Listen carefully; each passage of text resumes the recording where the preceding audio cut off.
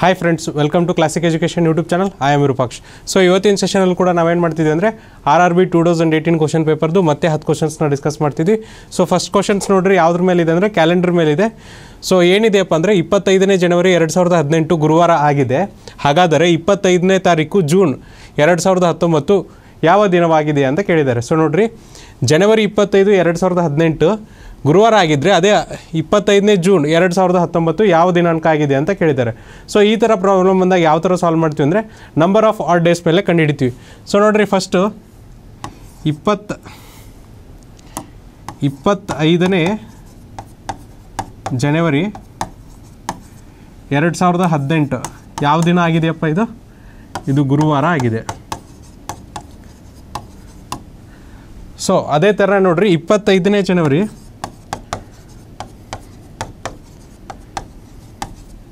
ಎರಡು ಸಾವಿರದ ಹತ್ತೊಂಬತ್ತು. ಎಷ್ಟು ಆಡ್ ಡೇಸ್ ಇರುತ್ತೆ? ಈಗ ಲೀಪ್ ಇಯರ್ ಇದ್ದರೆ ಎರಡು ಆಡ್ ಡೇಸ್ ಇರುತ್ತೆ. ನಾನ್ ಲೀಪ್ ಇಯರ್ ಇದ್ದರೆ ಒಂದೇ ಆಡ್ ಡೇಸ್ ಇರುತ್ತೆ. ಹಾಗಾಗಿ ಇಪ್ಪತ್ತೈದನೇ ಜನವರಿ ಎರಡು ಸಾವಿರದ ಹತ್ತೊಂಬತ್ತಕ್ಕೆ ಎಷ್ಟು ಆಡ್ ಡೇಸ್ ಇರುತ್ತಪ್ಪ? ಒಂದೇ ಆಡ್ ಡೇಸ್ ಇರುತ್ತೆ. ಹಾಗಾಗಿ ಇಲ್ಲಿ ಒಂದು ಬರುತ್ತೆ. ಅದೇ ಥರನಾಗಿ ಇಪ್ಪತ್ತೈದನೇ ಇಲ್ಲಿ ಫೆಬ್ರವರಿ ಬರುತ್ತೆ ರೀ ಫೆಬ್ರವರಿ ಎರಡು ಸಾವಿರದ ಹತ್ತೊಂಬತ್ತು. ಸೊ ಜನವರಿಲಿ ಎಷ್ಟು ದಿನ ಇರ್ತವೆ? ಟೋಟಲ್ ಆಗಿ ಮೂವತ್ತೊಂದು ದಿನಗಳಿರ್ತವೆ ಹಾಗಾದರೆ ಎಷ್ಟು ಆಡ್ ಡೇಸ್ ಬರುತ್ತೆ? ಮೂರು ಆಡ್ ಡೇಸ್ ಬರುತ್ತೆ. ಸೊ ನೆಕ್ಸ್ಟ್ ನೋಡ್ರಿ. ಮೂರು ಆಡ್ ಡೇಸ್ ಬಂತು. ನೆಕ್ಸ್ಟ್ ಅದೇ ಥರನಾಗಿ ಫೆಬ್ರವರಿಯಿಂದ March March two thousand nineteen so ಮಾರ್ಚಲ್ಲಿ ಎಷ್ಟು ದಿನಗಳಿರ್ತಾವಪ್ಪ? ಎರಡು ಸಾವಿರದ ಹತ್ತೊಂಬತ್ತು. Non leap year leap year ಇಲ್ಲ, ಎರಡು ಸಾವಿರದ ಹದಿನಾರು. ಲೀಪ್ ಇಯರು ಎರಡು ಸಾವಿರದ ಇಪ್ಪತ್ತು. ಲೀಪ್ ಇಯರ್ ಲೀಪ್ ಇಯರ್ ಅಂದರೆ ನಾಲ್ಕರದಿಂದ ಸಂಪೂರ್ಣವಾಗಿ ಬಾಧಿಕ ಭಾಗ ಆಗೋದಕ್ಕೆ ನಾವೇನು ಕರಿತೀವಿ ಅಧಿಕ ವರ್ಷ. ಕನ್ನಡದಲ್ಲಿ ಹೇಳೋದಾದರೆ ಅಧಿಕ ವರ್ಷ. ಸೊ ಎರಡು ಸಾವಿರದ ಹತ್ತೊಂಬತ್ತು ಅಧಿಕ ವರ್ಷ ಅಲ್ಲ. ಹಾಗಾಗಿ ಫೆಬ್ರವರಿಲಿ ಎಷ್ಟು ಆಡ್ ಡೇಸ್ ಇರ್ತಾವಪ್ಪ? ನಾಲ್ ಎಷ್ಟು ಆಡ್ ಡೇಸ್ ಇರ್ತಾವೆ ಅಂದರೆ ಯಾವುದೂ ಆಡ್ ಡೇಸ್ ಇರೋಲ್ಲ. ಯಾಕಂದರೆ ಇಪ್ಪತ್ತೆಂಟು ದಿನಗಳು ಮಾತ್ರ ಇರ್ತವೆ. ಹಾಗಾಗಿ ಇಲ್ಲೇನು ಬರುತ್ತೆ ಅಂದರೆ ಸೊನ್ನೆ ಬರುತ್ತೆ. ಯಾಕಂದರೆ ಯಾವುದೇ ಆಡ್ ಡೇ ಇಲ್ಲ. ಅದೇ ಥರನಾಗಿ ಏಪ್ರಿಲಿಗೆ ಎಷ್ಟು ಬರುತ್ತೆ ನೋಡ್ರಿ? ಮಾರ್ಚಿಂದ ಏಪ್ರಿಲಿಗೆ. ಮಾರ್ಚಲ್ಲಿ ಅಗೇನ್ ಎಷ್ಟು ದಿನಗಳು ಬರ್ತಾವಪ್ಪ? ಮೂರು ದಿನಗಳು ಬರ್ತವೆ. ಅಂದರೆ ಇಪ್ ಮೂವತ್ತೊಂದು ದಿನಗಳು ಬರ್ತವೆ. ಹಾಗಾದರೆ ಎಷ್ಟು ಆಡ್ ಡೇಸ್ ಬರುತ್ತೆ? ಮೂರು ಆಡ್ ಡೇಸ್ ಬರುತ್ತೆ. ಸೊ ಹಾಗಾಗಿ ಮೂರು ಬಂತು. ಅದೇ ಥರನಾಗಿ ಏಪ್ರಿಲಿಂದ ಮೇ.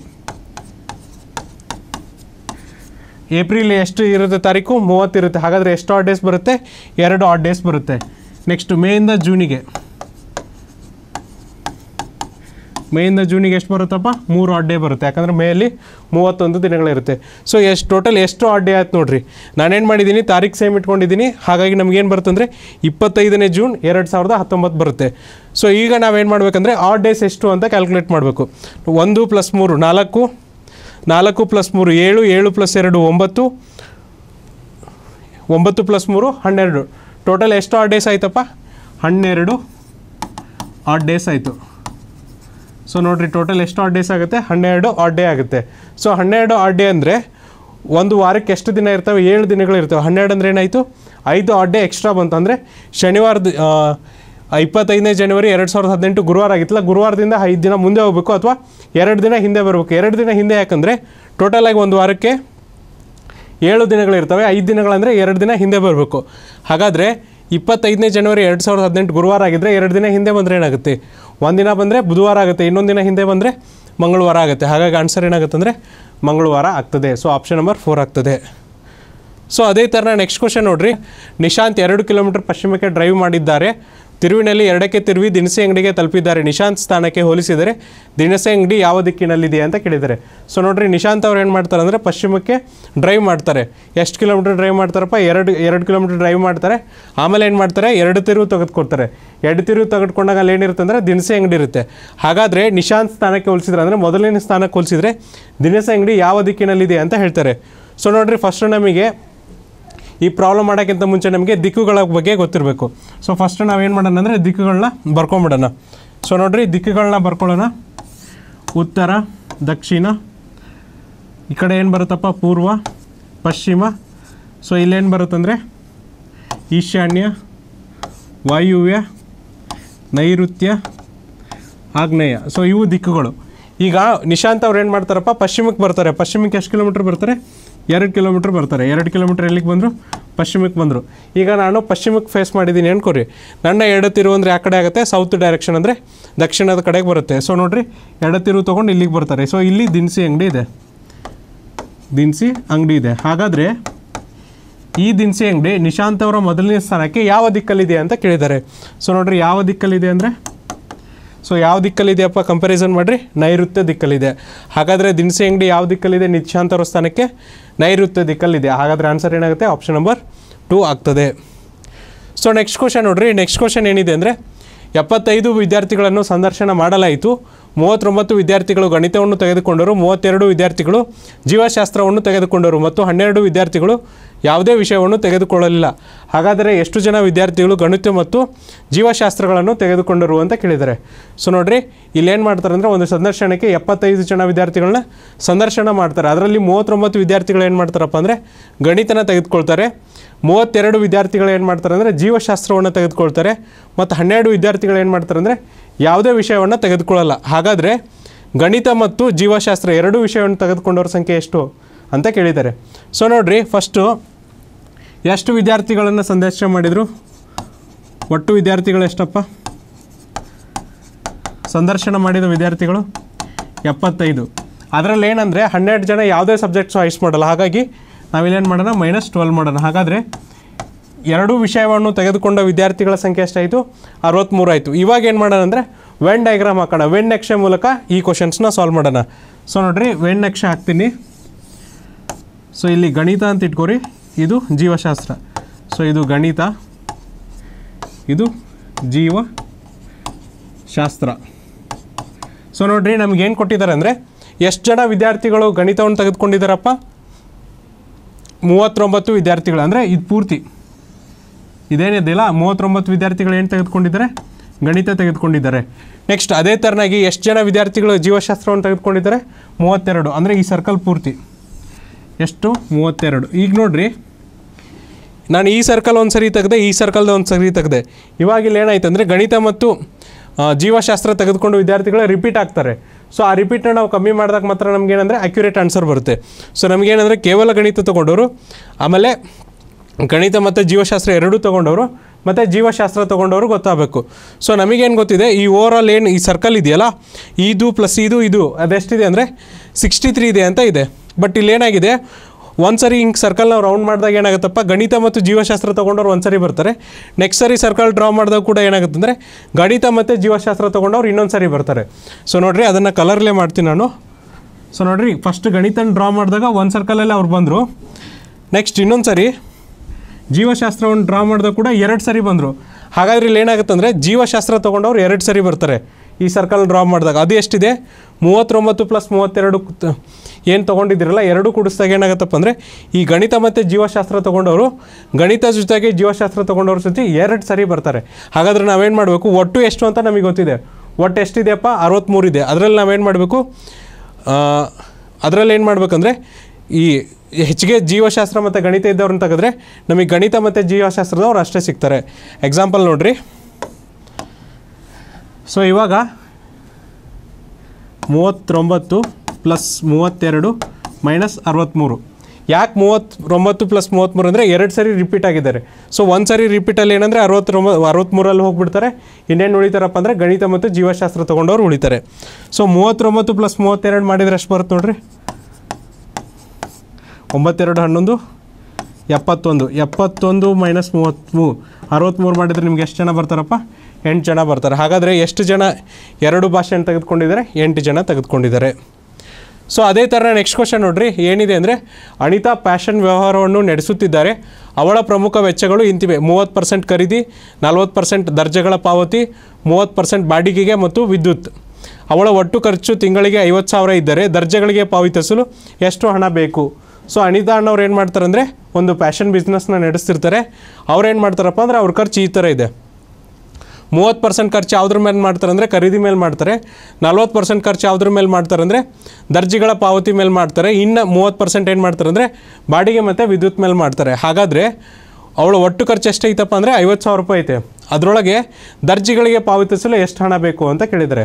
ಸೊ ನೋಡಿರಿ, ಒಟ್ಟು ಖರ್ಚು ಯಾವಾಗಲೂ ಏನಿರುತ್ತೆ? ನೂರು ಪರ್ಸೆಂಟ್ ಇರುತ್ತೆ. ಇಲ್ಲಿ ನೋಡಿರಿ ಮೂವತ್ತು ಪ್ಲಸ್ ನಲ್ವತ್ತು ಪರ್ಸೆಂಟ್ ಎಷ್ಟಾಯ್ತಪ್ಪ? ಎಪ್ಪತ್ತು ಪರ್ಸೆಂಟ್ ಎಪ್ಪತ್ತು ಪ್ಲಸ್ ಮೂವತ್ತು, ನೂರು ಪರ್ಸೆಂಟ್ ಸೊ ಒಟ್ಟು ಖರ್ಚು ಎಷ್ಟಾಯಿತು? ನೂರು ಪರ್ಸೆಂಟ್ ಆಯಿತು. ಈ ನೂರು ಪರ್ಸೆಂಟ್ ಎಷ್ಟಾಗುತ್ತೆ ಅಂದರೆ ಐವತ್ತು ಸಾವಿರ ಆಗುತ್ತೆ ಅಂತ ಹೇಳಿದ್ದಾರೆ. ನಮಗೇನು ಕೇಳಿದ್ದಾರೆ? ದರ್ಜಿಗಳಿಗೆ ಪಾವತಿಸಲು ಎಷ್ಟು ಬೇಕು ಅಂತ ಕೇಳಿದ್ದಾರೆ. ದರ್ಜಿಗಳಿಗೆ ಪಾವತಿಸಲು ಅಂದರೆ ದರ್ಜಿಗಳಿಗೆ ಎಷ್ಟು ಪರ್ಸೆಂಟ್ ಪಾವಿಸ್ತಾರೆ ನಲ್ವತ್ತು ಪರ್ಸೆಂಟ್ ಪಾವಿಸ್ತಾರೆ ಆ ನಲ್ವತ್ತು ಪರ್ಸೆಂಟ್ ಈಕ್ವಲ್ ಟು ಎಷ್ಟು ಅಂತ. ಸೊ ನೋಡಿರಿ. ನೂರು ಪರ್ಸೆಂಟ್ ಈಕ್ವಲ್ ಟು ಐವತ್ತು ಸಾವಿರ ರೂಪಾಯಿ ಆದರೆ ನಲ್ವತ್ತು ಪರ್ಸೆಂಟ್ ಈಕ್ವಲ್ ಟು ಎಷ್ಟು ಅಂತ. ಸೊ ನೋಡಿರಿ, ನಲ್ವತ್ತು ಪರ್ಸೆಂಟ್ ಈಕ್ವಲ್ಡ್ ಎಷ್ಟು ಅಂದರೆ ಇಪ್ಪತ್ತು ಸಾವಿರ ಆಗುತ್ತೆ. ನಾನು ಯಾಕೆ ಇಷ್ಟು ಈಸಿಯಾಗಿ ಹೇಳಿದೆ ಅಂದರೆ, ಐವತ್ತು ಸಾವಿರ ನಾನು ಯಾವ ಥರ ಮಾಡಿದ್ದೀನಪ್ಪ ಅಂದರೆ, ಐವತ್ತು ಸಾವಿರನ ನಾನು ಡಿವೈಡ್ ಮಾಡ್ಕೊಂಡಿದ್ದೀನಿ. ಹತ್ತು ಪರ್ಸೆಂಟ್ ಅಂದರೆ ಎಷ್ಟಾಗುತ್ತಪ್ಪ ಐವತ್ತು ಸಾವಿರಕ್ಕೆ ಐದು ಸಾವಿರ ಆಗುತ್ತೆ. ಹಾಗಾಗಿ ನಲ್ವತ್ತು ಪರ್ಸೆಂಟ್ ಅಂದರೆ ಇಂಟು ಫೋರ್ ಮಾಡಬೇಕು. ಹಾಗಾಗಿ ಐದು ನಾಲ್ಕಲೆ ಇಪ್ಪತ್ತು ಇಪ್ಪತ್ತು ಸಾವಿರ ಆಗುತ್ತೆ ಅಂತ ಹೇಳಿದ್ದೀನಿ. ಸೊ ನಾನು ನೀವು ಇಕ್ವೇಷನಲ್ಲಿ ಅಂದರೆ ಸಾಲ್ವ್ ಮಾಡಿ ನೋಡಿರಿ. ಕ್ರಾಸ್ ಮಲ್ಟಿಪ್ಲೈ ಮಾಡಿದರೆ fifty thousand into forty divided by hundred ಇವೆರಡು ಸೊನ್ನೆ ಇವೆರಡು ಸೊನ್ನೆ ಕ್ಯಾನ್ಸಲ್ ಆಯಿತು. ಇಲ್ಲಿ ನೋಡ್ರಿ ಇಲ್ಲೆರಡು ಸೊನ್ನೆ ಉಳಿತು, ಇಲ್ಲೊಂದು ಸೊನ್ನೆ ಉಳಿತು. ಟೋಟಲ್ ಮೂರು ಸೊನ್ನೆ, ಐದು ನಾಲ್ಕಲೆ ಇಪ್ಪತ್ತು. ಸೊ ಹಾಗಾಗಿ ಅವಳು ದರ್ಜೆಗಳಿಗೆ ಎಷ್ಟು ಪಾವತಿಸ್ತಾಳೆ ಅಂದರೆ ಇಪ್ಪತ್ತು ಸಾವಿರ ರೂಪಾಯಿನ ಪಾವತಿಸ್ತಾಳೆ ಸೊ ಈ ಕ್ವಶನ್ ನೀವು ನೋಡಿದ ತಕ್ಷಣ ಗೊತ್ತಾಗ್ಬಿಡ್ಬೇಕು, ನೂರು ಪರ್ಸೆಂಟ್ ಇಕ್ವಲ್ ಟು ನಿಮಗೆ ಐವತ್ತು ಸಾವಿರ ಆದರೆ ನಲ್ವತ್ತು ಪರ್ಸೆಂಟ್ ಇಕ್ವಲ್ ಟು ಎಷ್ಟಾಗುತ್ತಪ್ಪ ಅಂದರೆ ಇಪ್ಪತ್ತು ಪರ್ಸೆಂಟ್ ಇಪ್ಪತ್ತು ಸಾವಿರ ರೂಪಾಯಿ ಆಗುತ್ತೆ ಅಂತ. ಸೊ ನೀವು ಏನು ಮಾಡ್ಬೇಕಂದ್ರೆ ಈ ಥರ ಬೈ ಮೈಂಡ್ ಕ್ಯಾಲ್ಕುಲೇಷನ್ ಮಾಡಿ ಆನ್ಸರ್ ಕಂಡುಹಿಡಿಬೇಕು. ಯಾಕಂದರೆ ಎಕ್ಸಾಮಿನೇಷನಲ್ಲಿ ನಿಮಗೆ ಟೈಮ್ ಇರೋಲ್ಲ ಟೈಮ್ ಕನ್ಸಂಪ್ಷನ್ ಕಡಿಮೆ ಮಾಡೋಕ್ಕೆ ಈ ಥರ ಮಾಡಬೇಕಾಗುತ್ತೆ. ಸೊ ಅದೇ ಥರ ನೆಕ್ಸ್ಟ್ ಕ್ವಶನ್ ನೋಡ್ರಿ. ಸೊ ಇದು ಏನಂದರೆ ಸಿಂಪ್ಲಿಫಿಕೇಷನ್ ಮೇಲಿದೆ ಸಿಂಪ್ಲಿಫೈ ಮಾಡ್ತಾ ಹೋಗೋಣ. ಫಸ್ಟ್ ಏನಿದೆ ನೋಡ್ರಿ? ಎಪ್ಪತ್ನಾಲ್ಕು ಮೈನಸ್ ಎಂಬತ್ತೈದು. ಸೊ ಫಸ್ಟ್ ನಾವೇನು ಮಾಡ್ಬೇಕಂದ್ರೆ ಇದನ್ನು ಬಾಡಮಸ್ ಮೂಲಕ ಮಾಡಬೇಕು. ಸೊ ಬಾಡಮಸಲ್ಲಿ ಫಸ್ಟ್ ಏನು ಬರುತ್ತಪ್ಪ? Division multiplication addition substitution first ಭಾಗಾಕಾರ, ಆಮೇಲೆ ಗುಣಾಕಾರ, ಆಮೇಲೆ ಸಂಕಲನ, ಆಮೇಲೆ ವ್ಯವಕಲನ. ಅದಕ್ಕಿಂತ ಮುಂಚೆ ಬ್ರ್ಯಾಕೆಟ್ಸ್ ಸೊ ಬ್ರ್ಯಾಕೆಟ್ಸಲ್ಲಿ ಫಸ್ಟ್ ನಾವೇನು ಮಾಡ್ಬೇಕಂದ್ರೆ ಈ ಬ್ರ್ಯಾಕೆಟ್ನ ತಗೋಬೇಕು ಅದ್ರ ಮೇಲೆ ಇಲ್ಲೇನಿದೆ ಅಂದರೆ ಆವೃತ್ತಗಳಿದೆ ಅಂದರೆ ಆಫ್ ಅಂತ ಇದೆ. ಸೊ ಹಾಗಾಗಿ ಫಸ್ಟ್ ಪ್ರಿಫರೆನ್ಸ್ ಯಾವುದು ಕೊಡಬೇಕು? ಇದನ್ನು ಕೊಡಬೇಕು. ಸೊ ನೋಡಿರಿ. ಮೇಲ್ಗಡೆ ಗೆರೆ ಬಂದಿದೆಯಲ್ಲ ಅದನ್ನು ಫಸ್ಟ್ ತಗೊಳ್ಳೋಣ ಒಂಬತ್ತು ಮೂರಲೆ ಎಷ್ಟಾಗುತ್ತಪ್ಪ? ಒಂಬತ್ತು ಮೂರಲೆ ಇಪ್ಪತ್ತೇಳು ಆಯಿತು ಸೊ ಈಗ ಈಕ್ವೇಷನ್ ಏನಾಗುತ್ತೆ ಅಂದರೆ ನಲ್ವತ್ತೊಂದು ನಲ್ವತ್ತೊಂದು minus three raise to five divided by twenty seven ಆಯಿತು. ಸೊ ನೋಡಿರಿ ನೆಕ್ಸ್ಟ್ ಏನು ಮಾಡ್ಬೇಕಂದ್ರೆ ನಾವು ಬಾಡಮಸಲ್ಲಿ ಡಿವಿಷನ್ ಮಾಡಬೇಕು. ಹಾಗಾಗಿ three raise to five divided by twenty seven ನಾನು ಯಾವ ಥರ ಬರ್ಕೋಬೋದು ಅಂದರೆ ತ್ರೀ ಕ್ಯೂಬ್ ಅಂತ ಬರ್ಕೋಬೋದು. ಮೂರು ಮೂರು, ಮೂರರ ಗಣ ಅಂತ ಬರ್ಕೋಬೋದು. ಹಾಗಾಗಿ ಟ್ವೆಂಟಿ ಸೆವೆನ್ನ ಮೂರರ ಗಣ ಅಂತ ಬರ್ಕೊಂಡೆ. ಸೊ ನೋಡಿರಿ, ಇದು ಒಂದಲೇ ಕ್ಯಾನ್ಸಲ್ ಆಗುತ್ತೆ. ಇದು ಕ್ಯಾನ್ಸಲ್ ಆಗುತ್ತೆ, ಏನು ಉಳಿತಪ್ಪ three raise to two two. So ಇವಾಗ ನಮಗೆ ಗೊತ್ತಾಯಿತು ತ್ರೀ ರೇಸ್ ಟು ಉಳಿಯಿತು ಇಲ್ಲೇನು ಉಳಿತಪ್ಪ ಅಂದ್ರೆ ನೆಕ್ಸ್ಟ್ ಈಗ ನಲ್ವತ್ತೊಂದು ಮೈನಸ್ ಒಂಬತ್ತು. ಮೂರು ಸ್ಕ್ವೇರ್ ಎಷ್ಟಾಯಿತು? ಒಂಬತ್ತಾಯಿತು. ಸೊ ನೋಡಿರಿ, ನಲ್ವತ್ತೊಂದರಲ್ಲಿ ನೀವು ಒಂಬತ್ತು ಕಳೆದ್ರೆ ನಿಮ್ಗೆ ಎಷ್ಟು ಉಳಿಯುತ್ತಪ್ಪ? ಮೂವತ್ತೆರಡು ಉಳಿಯುತ್ತೆ. ಸೊ ಈ ಬ್ರ್ಯಾಕೆಟೆಲ್ಲ ಹೋಗಿ ನಮಗೆ ಎಷ್ಟು ಉಳಿತು? ಮೂವತ್ತೆರಡು ಉಳಿತು. ಸೊ ಈಗ ನೆಕ್ಸ್ಟ್ ಬ್ರ್ಯಾಕೆಟ್ ನೋಡಿರಿ. ನಲ್ವತ್ತೊಂಬತ್ತು ಮೈನಸ್ ಮೂವತ್ತೆರಡು. ಸೊ ನಲ್ವತ್ತೊಂಬತ್ತಲ್ಲಿ ನೀವು ಮೂವತ್ತೆರಡು ಕಳೆದ್ರೆ ನಿಮ್ಗೆ ಎಷ್ಟು ಉಳಿಯುತ್ತೆ? ಹದಿನೇಳು ಉಳಿಯುತ್ತೆ. ನೋಡಿರಿ, ಎಲ್ಲಿ? ನೆಗೆಟಿವ್ ಇಲ್ಲ ಪಾಸಿಟಿವ್ ಸೈನ್ ಇದೆ. ಹಾಗಾಗಿ ಪಾಸಿಟಿವ್ ಇಟ್ಕೊಂಡ್ಬಂದಿದ್ದೀನಿ ಈ ಬ್ರ್ಯಾಕೆಟ್ ಪೂರ್ತಿ ಕಂಪ್ಲೀಟ್ ಆಯಿತು. ಎಷ್ಟು ಬಂತಪ್ಪ ನಮಗೆ? ಹದಿನೇಳು ಬಂತು. ಸೊ ಇವಾಗ ಏನು ಉಳಿತಂದ್ರೆ ಇಲ್ಲಿ? ಎಂಬತ್ತೈದು ಡಿವೈಡೆಡ್ ಬೈ ಹದಿನೇಳು. ಸೊ ನೋಡಿರಿ ಎಂಬತ್ತೇಳು ಡಿವೈಡೆಡ್ ಬೈ ಹದಿನೇಳು. ಸೊ ಇಲ್ಲಿ ಯೂನಿಟ್ ಪ್ಲೇಸ್ ನೋಡಿರಿ ಇಲ್ಲಿ ಏಳಿದೆ, ಇಲ್ಲಿ ಐದಿದೆ. ಸೊ ಏಳಕ್ಕೆ ಎಷ್ಟು ಗುಣಿಸಿದ್ರೆ ಐದು ಬರುತ್ತಪ್ಪ? ಏಳು ಐದಲೇ ಮೂವತ್ತೈದು. ಹಾಗಾಗಿ ಹದಿನೇಳು ಐದಲೇ ಎಂಬತ್ತೈದು ಆಗುತ್ತೆ. ಹಾಗಾಗಿ ಹದಿನೇಳು ಒಂದಲೇ ಹದಿನೇಳು ಐದಲೆ. ಸೊ ಇಷ್ಟೇ ಎಲ್ಲಿ ಉಳಿತಪ್ಪ? ಇಲ್ಲೇ ಇದು ಪೂರ್ತಿ ಕಂಪ್ಲೀಟಾಗಿ ಎಷ್ಟು ಬಂತಂದರೆ ಐದು ಬಂತು. ಈಗ ನೋಡಿರಿ ಫೈನಲ್ ಆಗಿ ಏನು ಉಳಿತಂದರೆ seventy four minus five so ಎಪ್ಪತ್ನಾಲ್ಕರಲ್ಲಿ ನೀವು ಐದು ಕಳೆದ್ರೆ ನಿಮ್ಗೆ ಎಷ್ಟು ಉಳಿಯುತ್ತಪ್ಪ? ಅರವತ್ತೊಂಬತ್ತು ಉಳಿಯುತ್ತೆ. ಹಾಗಾದ್ರೆ ಆನ್ಸರ್ ಏನಾಗುತ್ತೆ ಅಂದರೆ ಅರವತ್ತೊಂಬತ್ತಾಗುತ್ತೆ ಸೊ ನೋಡಿರಿ, ಎಷ್ಟು ಈಸಿಯಾಗಿ ಕಂಡುಹಿಡಿಬೋದು ಅಂದರೆ ನೀವೇನು ಮಾಡ್ಬೇಕಂದ್ರೆ ಯಾವಾಗಲೂ ಬಾಡಮಸ್ ರೂಲ್ ಅಪ್ಲೈ ಮಾಡಿರಿ, ಆಮೇಲೆ ಸ್ಟೆಪ್ ಬೈ ಸ್ಟೆಪ್ ಸಾಲ್ವ್ ಮಾಡ್ತಾ ಬರ್ರಿ, ನಿಮಗೆ ಆನ್ಸರ್ ಬರುತ್ತೆ. ಸೊ ಈ ಥರ ಕ್ವಶನ್ ಬಂದಾಗ ಏನು ಮಾಡಿರಿ ಅಂದರೆ ಸ್ಟಾರ್ಟಿಂಗಲ್ಲೇ ಸಾಲ್ವ್ ಮಾಡಬೇಡ್ರಿ, ಸ್ವಲ್ಪ ಟೈಮ್ನ ಅಂದರೆ ಮಾರ್ಕ್ ಆ್ಯಂಡ್ ರೀಡ್ ಅಂತ ಇಡ್ರಿ, ನಿಮ್ಗೆ ಯಾವಾಗ ಲಾಸ್ಟಲ್ಲಿ ಎಲ್ಲ ಪ್ರೊಸೆಸ್ ಆದಮೇಲೆ ಟೈಮ್ ಉಳಿಯುತ್ತಲ್ಲ ಎಕ್ಸಾಮಿನೇಷನಲ್ಲಿ ಅವಾಗ ಸಾಲ್ವ್ ಮಾಡಿರಿ. ಯಾಕಂದರೆ ಇನಿಷಿಯಲ್ ಟೈಮ್ ಮಾಡೋಕೆ ಹೋದರೆ ಇದು ಭಾಳ ಟೈಮ್ ಕನ್ಸಂಪ್ಷನ್ ಆಗುತ್ತೆ, ಆಮೇಲೆ ನಿಮ್ಮದು ಟೈಮ್ ಕೂಡ ಸಾಲಲ್ಲ. ಅದೇ ಥರ ನೆಕ್ಸ್ಟ್ ಕ್ವಶನ್ ಏನಿದೆ ನೋಡ್ರಿ ನೆಕ್ಸ್ಟ್ ಕ್ವಶನ್ ಮುಂದಿನ ಸಂಖ್ಯೆಯನ್ನು ಹುಡುಕಿ ಅಂತ ಇದೆ. ಸೊ ನೋಡ್ರಿ ಸೀರೀಸ್ ಏನಿದೆ ಅಂತ ನೋಡೋಣ. ಮೂವತ್ತ್ನಾಲ್ಕು ನಲವತ್ತಾರು, ಐವತ್ತೆಂಟು, ಎಪ್ಪತ್ತು. ಸೀರೀಸ್ ಏನಿದೆ ಅಂತ ಹುಡುಕಿ, ನೋಡಿರಿ. ಫಸ್ಟ್ ಮೂವತ್ತ್ನಾಲ್ಕಿದೆ ಆಮೇಲೆ ನಲ್ವತ್ತಾರಿದೆ, ಆಮೇಲೆ ಐವತ್ತೆಂಟಿದೆ, ಆಮೇಲೆ ಎಪ್ಪತ್ತಿದೆ. ಸೊ ಮೂವತ್ತ್ನಾಲ್ಕಕ್ಕೆ ನೀವು ಎಷ್ಟು ಕೂಡಿಸಿದ್ರೆ ನಲ್ವತ್ತಾರು ಬರುತ್ತಪ್ಪ? ಹನ್ನೆರಡು. ಅದೇ ಥರ ನಲ್ವತ್ತಾರಕ್ಕೆ ಎಷ್ಟು ಕೂಡಿಸಿದ್ರೆ ಐವತ್ತೆಂಟು ಬರುತ್ತೆ? ಹನ್ನೆರಡು. ಐವತ್ತೆಂಟಕ್ಕೆ ಎಷ್ಟು ಕೂಡಿಸಿದ್ರೆ ಎಪ್ಪತ್ತು ಬರುತ್ತೆ? ಹನ್ನೆರಡು. ಸೊ ಹಾಗಾದರೆ ನಾವೇನು ಮಾಡಿದ್ವಿ ಅಂದರೆ ಪ್ರತಿ ಸ್ಟೆಪ್ಪಲ್ಲೂ ಹನ್ನೆರಡನ್ನು ಆ್ಯಡ್ ಮಾಡ್ತಾ ಹೋಗಿದ್ವಿ. ಹಾಗಾಗಿ ನೆಕ್ಸ್ಟ್ ಏನು ಮಾಡಬೇಕು? ಎಪ್ಪತ್ತಕ್ಕೆ ಎಷ್ಟು ಕೂಡಿಸ್ಬೇಕಂದ್ರೆ? ಹನ್ನೆರಡು ಕೂಡಿಸ್ಬೇಕು. ಎಷ್ಟಾಗುತ್ತೆ? ಎಂಬತ್ತೆರಡು. ಸೊ ಆನ್ಸರ್ ಏನಾಗುತ್ತೆ ಅಂದರೆ ಎಂಬತ್ತೆರಡು ಆಗುತ್ತೆ. ಸೊ ನೋಡಿರಿ ಸೀರೀಸ್ ತುಂಬ ಸಿಂಪಲ್ ಆಗಿರುತ್ತೆ. ನೋಡಿದ ತಕ್ಷಣ ಗೊತ್ತಾಗ್ಬಿಡುತ್ತೆ. ನಿಮಗೆ ಕ್ಯಾಲ್ಕುಲೇಷನ್ ಸ್ಪೀಡ್ ಇದ್ದರೆ ಇನ್ನೂ ಈಸಿಯಾಗಿ ಆನ್ಸರ್ ಬರುತ್ತೆ. ಸೊ ಮೂವತ್ತ್ನಾಲ್ಕು ನಲ್ವತ್ತಾರು, ಐವತ್ತೆಂಟು, ಎಪ್ಪತ್ತು ನೆಕ್ಸ್ಟ್ ಏನು ಬರಬೇಕಪ್ಪ ಅಂದರೆ ಎಂಬತ್ತೆರಡು. ಯಾಕಂದರೆ ಎಲ್ಲ ಕಡೆ ಹನ್ನೆರಡು ಡಿಫ್ರೆನ್ಸ್ ಇದೆ. ಸೊ ಅದೇ ಥರ ನೆಕ್ಸ್ಟ್ ಕ್ವಶನ್ ನೋಡೋಣ ನೋಡ್ರಿ. ನೆಕ್ಸ್ಟ್ ಕ್ವಶನ್ ನಾಲ್ಕು ಸಾವಿರದ ಆರುನೂರ ಇಪ್ಪತ್ನಾಲ್ಕರ ವರ್ಗಮೂಲ. ಸೊ ಈ ಕ್ವಶನ್ ತುಂಬ ಸಿಂಪಲ್ ಆಗಿದೆ. ಇದನ್ನು ಯಾವ ಥರ ಸಾಲ್ವ್ ಮಾಡ್ಬೇಕಂದ್ರೆ, ನಾಲ್ಕು ಸಾವಿರದ ಆರುನೂರ ಇಪ್ಪತ್ನಾಲ್ಕು. ಇದರಲ್ಲಿ ಎರಡು ಪಾರ್ಟ್ ಮಾಡ್ತೀನಿ. ಫಸ್ಟ್ ಈ ಪಾರ್ಟು ಆಮೇಲೆ ಈ ಪಾರ್ಟು ಫಸ್ಟ್ ನೋಡಿರಿ ಯೂನಿಟ್ ಡಿಜಿಟಲ್ ಏನಿದೆ? ನಾಲ್ಕಿದೆ ಏನ ಸ್ಕ್ವೇರ್ ಮಾಡಿದರೆ ನಿಮಗೆ ಯೂನಿಟ್ ಡಿಜಿಟಲ್ ನಾಲ್ಕು ಬರುತ್ತೆ ಅಂತ. ನೋಡಿರಿ ಒನ್ ಸ್ಕ್ವೇರ್ ಮಾಡಿದ್ರೆ ಟೂ ಸ್ಕ್ವೇರ್ ಎರಡರ ಸ್ಕ್ವೇರ್ ಮಾಡಿದರೆ ನಾಲ್ಕು ಬರುತ್ತೆ. ತ್ರೀ ಸ್ಕ್ವೇರ್ ಮಾಡಿದರೆ ನೈನ್ ಫೋರ್ ಸ್ಕ್ವೇರ್ ಮಾಡಿದರೆ ಸಿಕ್ಸ್ಟೀನ್ ಫೈವ್ ಸ್ಕ್ವೇರ್ ಮಾಡಿದರೆ ಟ್ವೆಂಟಿ ಫೈವ್ ಸಿಕ್ಸ್ ಸ್ಕ್ವೇರ್ ಮಾಡಿದರೆ ತರ್ಟಿ ಸಿಕ್ಸ್ ಸೆವೆನ್ ಸ್ಕ್ವೇರ್ ಮಾಡಿದರೆ ಫೋರ್ಟಿ ನೈನ್ ಏಯ್ಟ್ ಸ್ಕ್ವೇರ್ ಮಾಡಿದರೆ ಸಿಕ್ಸ್ಟಿ ಫೋರ್ ನೈನ್ ಸ್ಕ್ವೇರ್ ಮಾಡಿದರೆ ಏಯ್ಟಿ ಒನ್ ಟೆನ್ ಸ್ಕ್ವೇರ್ ಮಾಡಿದರೆ ಹಂಡ್ರೆಡ್ ಸೊ ನೋಡಿರಿ. ಇಲ್ಲಿ ಟೂ ಸ್ಕ್ವೇರ್ ಮಾಡಿದಾಗ ಫೋರ್ ಬರುತ್ತೆ ಮತ್ತು ಏಯ್ಟ್ ಸ್ಕ್ವೇರ್ ಮಾಡಿದಾಗ ಫೋರ್ ಬರುತ್ತೆ. ಸೊ ಯೂನಿಟ್ ಡಿಜಿಟಲ್ ಇಲ್ಲಿ ಫೋರ್ ಬರಬೇಕಂದ್ರೆ ನಮ್ಮ ವರ್ಗಮೂಲ ಏನಿರಬೇಕಪ್ಪ ಅಂದರೆ ಒಂದು ಎರಡು ಇರಬೇಕು ಅಥವಾ ಎಂಟು ಇರಬೇಕು. ಹಾಗಾಗಿ ಪಾಸಿಬಿಲಿಟೀಸ್ ಬರ್ಕೋತೀನಿ. ಒಂದು ಎರಡು ಇರಬೇಕು ಅಥವಾ ಎಂಟಿರಬೇಕು. ನೆಕ್ಸ್ಟ್ ನೋಡಿರಿ ಇದೆ. ಈ ನಲವತ್ತಾರು ನಂಬರು ಯಾವೆರಡು ವರ್ಗಗಳ ಮಧ್ಯೆ ಬರುತ್ತೆ ನೋಡ್ರಿ. ಇದು ಮೂವತ್ತಾರು ನಂತರ ಬರುತ್ತೆ, ನಲ್ವತ್ತೊಂಬತ್ತರ ಒಳಗೆ ಬರುತ್ತೆ. ಸೊ ಇದೇನು ಗಣ ಇದೆಯಲ್ಲ? ಅಂದರೆ ಇದೇನು ಸಂಖ್ಯೆ ಇದೆಯಲ್ಲ? ಇದು ಮೂವತ್ತಾರನ ಮಧ್ಯ ನಂತರ ಬರುತ್ತೆ. ನಾವು ವರ್ಗ ಮಾಡಿದಾಗ ಆರು ವರ್ಗದ ನಂತರ ಬರುತ್ತೆ, ಏಳರ ವರ್ಗಕ್ಕಿಂತ ಮುಂಚೆ ಬರುತ್ತೆ. ಹಾಗಾಗಿ ಮೂವತ್ತಾರರ ನಂತರ ನಲ್ವತ್ತೊಂಬತ್ತರಿಗಿಂತ ಮುಂಚೆ. ಹಾಗಂದ್ರೆ ಏನಾಗುತ್ತಪ್ಪ ಇದು? ಅರವತ್ತರ ಮೇಲಿರುತ್ತೆ, ಎಪ್ಪತ್ತರ ಒಳಗೆ ಬರುತ್ತೆ. ಹಾಗಾಗಿ ಯೂನಿಟ್ ಪ್ಲೇಸಲ್ಲಿ ಆರು ಬರ್ಕೊಂಡೆ. ಸೊ, ಸಂಖ್ಯೆ ಇಲ್ಲಿ ಏನಾಗಿರ್ಬೇಕಂದ್ರೆ ಒಂದು ಅರವತ್ತೆರಡು ಆಗಿರಬೇಕು ಅಥವಾ ಅರವತ್ತೆಂಟು ಆಗಿರಬೇಕು. ಸೊ, ಈಗ ಇದು ಅರವತ್ತೆರಡು ಅಥವಾ ಅರವತ್ತೆಂಟು ಅಂತ ಯಾವ ಥರ ಕಂಡು ಹಿಡಿತೀರಾ ಸೊ, ಅದಕ್ಕೊಂದು ಟ್ರಿಕ್ ಇದೆ. ಸೊ, ಯಾವಾಗಲೂ ಈ ಥರ ಇದ್ದಾಗ ಏನು ಮಾಡಿರಿ? ಮಿಡಲ್ ಆರ್ಡರ್ ಮಿಡಲ್ ನಂಬರ್ ಅಂದರೆ sixty five sixty five square ಮಾಡಿರಿ. ಸಿಕ್ಸ್ಟಿ ಫೈವ್ ಸ್ಕ್ವೇರ್ ಮಾಡೋದು ತುಂಬ ಸುಲಭ. ಯಾವ ಥರ ಅಂದರೆ? ಸೊ, ನೋಡಿರಿ ಸಿಕ್ಸ್ಟಿ ಫೈವ್ ಸ್ಕ್ವೇರ್ ಮಾಡೋದು. ಇಲ್ಲಿ ಸಿಕ್ಸ್ಟಿ ಫೈ ಇದೆಯಲ್ಲ? ಯಾವಾಗಲೂ ಯಾವುದೇ ಫೈ ಇರಲಿ. Fifty five forty five twenty five square ಮಾಡೋದು ತುಂಬ ಸುಲಭ. ಫಸ್ಟ್ ಏನು ಮಾಡ್ಬೇಕಂದ್ರೆ ಫೈವ್ ಸ್ಕ್ವೇರ್ ಮಾಡಿಬಿಡ್ಬೇಕು. ಟ್ವೆಂಟಿ ಫೈ ನೆಕ್ಸ್ಟ್ ಏನು ಮಾಡೋದಂದರೆ ಈ ಆರು ಇದೆಯಲ್ಲ, ಅದಕ್ಕೆ ಮುಂದಿನ ನಂಬರ್ಲೇ ಇಂಟು ಮಾಡೋದು. ಆರು ಏಳೆ ಎಷ್ಟಪ್ಪ? ನಲ್ವತ್ತೆರಡು. ಎಷ್ಟು ಬಂತಿಲ್ಲ ನಾಲ್ಕು ಸಾವಿರದ ಎರಡು ನೂರ ಇಪ್ಪತ್ತೈದು. ಇದು ನಿಮ್ಮ ಅರವತ್ತೈದರ ಸ್ಕೋರ್ ಈಗ ನಲ್ವತ್ತೈದು ಇದ್ದರೆ ಫಸ್ಟು ಟ್ವೆಂಟಿ ಫೈವ್ ಬರ್ಕೊಂಬಿಡೋದು, ಆಮೇಲೆ ನಾಲ್ಕು ಇದ್ದಿದ್ದಕ್ಕೆ ಇಂಟು ಫೈವ್ ಮಾಡೋದು. ಅಂದರೆ ಮುಂದಿನ ಸಂಖ್ಯೆ ನಾಲ್ಕೈದಲೇ ಇಪ್ಪತ್ತು. ಅವಾಗ ಏನಾಕಿತ್ತು? ಎರಡು ಸಾವಿರದ ಇಪ್ಪತ್ತೈದು ಹಾಕಿತ್ತು. ಸೊ ಇವಾಗ ಎಷ್ಟಾಯಿತು ಅಂದರೆ ನಾಲ್ಕು ಸಾವಿರದ ಎರಡುನೂರ ಇಪ್ಪತ್ತೈದು ಆಯಿತು.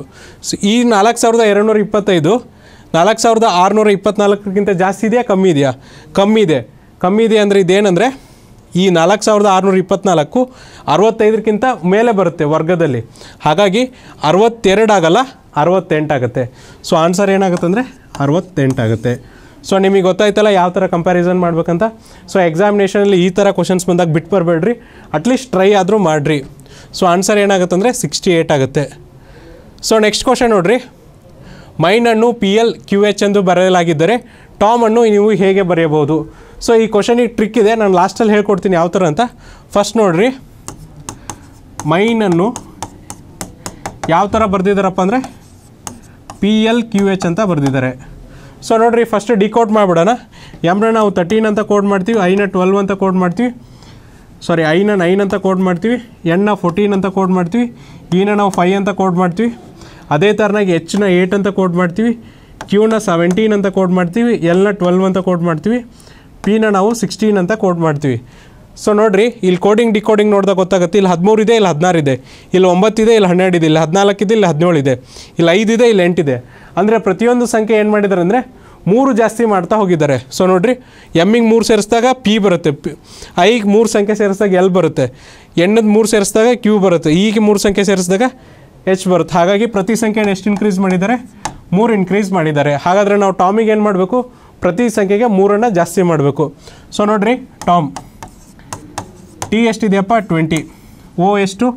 ಫಿಫ್ಟೀನ್ ಎಂ ಎಷ್ಟು? ತರ್ಟೀನ್ ಸೊ ನೋಡ್ರಿ ಟಿ ಟ್ವೆಂಟಿ ಆದರೆ ಟ್ವೆಂಟಿ ತ್ರೀ ಯಾವುದಾಗುತ್ತಪ್ಪ? ಡಬ್ಲ್ಯೂ ಆಗುತ್ತೆ. ಸೊ ಓ ಫಿಫ್ಟೀನ್ ಆದರೆ ಏಯ್ಟೀನ್ ನಂಬರ್ ಯಾವುದಾಗುತ್ತೆ? ಆರ್ ಆಗುತ್ತೆ. ಸೊ ಎಂ ತರ್ಟೀನ್ ಆದರೆ ಮೂರು ನಂಬರ್ ಯಾವುದಾಗುತ್ತೆ? ಪಿ ಆಗುತ್ತೆ ಸಿಕ್ಸ್ಟೀನ್ ಸೊ ಹಾಗಾದ್ರೆ ಆನ್ಸರ್ ಏನಾಗುತ್ತೆ ಅಂದರೆ ಡಬ್ಲ್ಯೂ ಆರ್ ಪಿ ಆಗುತ್ತೆ ಸೊ ಎಕ್ಸಾಮಿನೇಷನಲ್ಲಿ ನಿಮ್ಗೆ ಇಷ್ಟು ಮಾಡೋಕ್ಕೆ ಟೈಮ್ ಇರೋಲ್ಲ. ಈ ಕ್ವಶನ್ ನೋಡಿರಿ, ನೋಡಿದ ತಕ್ಷಣ ನಿಮಗೆ ಆನ್ಸರ್ ಗೊತ್ತಾಗುತ್ತೆ. ಎಂ ಐ ಎನ್ ಇ ಇದನ್ನು ಮೈಂಡ್ ಯಾವ ಥರ ಬರೆದಿದ್ದಾರಪ್ಪ ಅಂದರೆ ಪಿ ಎಲ್ ಕ್ಯೂ ಎಚ್ ಅಂತ ಬರೆದಿದ್ದಾರೆ. ಸೊ ಅದೇ ಥರನಾಗಿ ಟಾಮನ್ ಯಾವ ಥರ ಬರೀಬೇಕು ಅಂತ ಕೇಳಿದ್ದಾರೆ. ನೋಡಿರಿ ಇಲ್ಲಿ ಎಂ ಇದೆ ಎಂ ಜಾಗಕ್ಕೆ ಏನಿದೆ ಅಂದರೆ ಪಿ ಇದೆ. ಸೊ ಲಾಸ್ಟಲ್ಲಿ ಟಾಮ್ ಇದೆ. ಟಾಮ್ ಎಂ ಜಾಗಕ್ಕೆ ಏನು ಬರಬೇಕಪ್ಪ? ಪಿ ಬರಬೇಕು. ಹಾಗಾದರೆ ಆಪ್ಷನಲ್ಲಿ ಲಾಸ್ಟ್ ಪಿ ಯಾವುದಿದೆ ನೋಡ್ರಿ? ಫಸ್ಟ್ ಆಪ್ಷನಲ್ಲಿ ಆರ್ ಇದೆ. ಹಾಗಾಗಿ ಇದು ಆಗಲ್ಲ. ಇಲ್ಲಿ ಆರ್ ಇದೆ. ಇದು ಕೂಡ ಆಗಲ್ಲ. ಇಲ್ಲಿ ಪಿ ಇದೆ. ಸೊ ಈ ಆಪ್ಷನ್ ಆಗುತ್ತೆ. ಓ ಇದೆ. ಆಗಲ್ಲ. ಹಾಗಾಗಿ ಆಪ್ಷನ್ ವೆರಿಫಿಕೇಷನ್ ಥ್ರೂನು ನೀವು ಏನಂದರೆ ಕ್ವಶನ್ಸ್ನ ಸಾಲ್ವ್ ಮಾಡ್ಬೋದು. ಸೊ ಈ ಸೆಷನ್ ಲಾಸ್ಟ್ ಕ್ವಶನ್ ನೋಡ್ರಿ.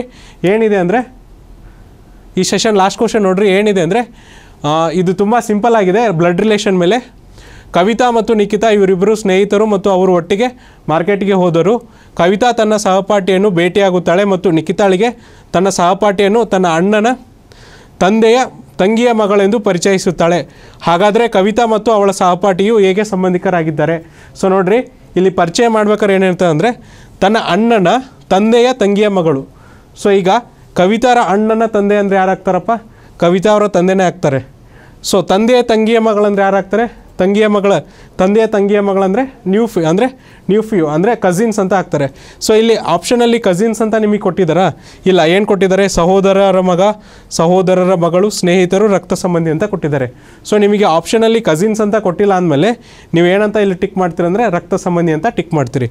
ಸೊ ನೋಡಿರಿ, ತನ್ನ ಅಣ್ಣನ, ಇದು ನೆನ್ಪಿಟ್ಕೋರಿ, ತನ್ನ ಅಣ್ಣನ ತನ್ನ ಅಣ್ಣನ ತಂದೆಯ ತಂಗಿಯ ಮಗಳು. ತನ್ನ ಅಣ್ಣನ ತಂದೆ ಅಂದರೆ ತನ್ನ ತಂದೆ ಆಗ್ತಾರೆ, ತಂಗಿಯ ಮಗಳಂದರೆ ಯಾರಾಗ್ತಾರಪ್ಪ ಅವರ ಅಣ್ಣ ತಂದೆಯ ತಂಗಿ ಮಗಳಾಗ್ತಾರೆ ಹಾಗಾಗಿ ಆನ್ಸರ್ ಏನಾಗುತ್ತೆ ಅಂದರೆ ರಕ್ತ ಸಂಬಂಧಿ ಆಗುತ್ತೆ. ಸೊ ಇದೇನಪ್ಪ ಅಂದರೆ ಇವತ್ತಿನ ಸೆಷನು ನೆಕ್ಸ್ಟ್ ಸೆಷನಲ್ಲಿ ಮತ್ತೊಂದಿಷ್ಟು ಕ್ವಶನ್ಸ್ನ ಡಿಸ್ಕಸ್ ಮಾಡೋಣ. ಅಲ್ಲಿವರೆಗೂ ನೋಡ್ತಾ ಇರಿ classic education YouTube channel thank you